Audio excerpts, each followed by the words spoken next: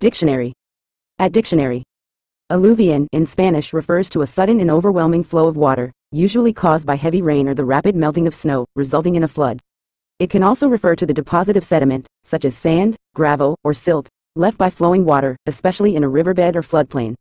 Beyond its literal meaning, aluvión can be used metaphorically to describe an overwhelming influx or large quantity of something, such as an aluvión of information, people, or emotions, highlighting the sudden and abundant nature of the event or phenomenon.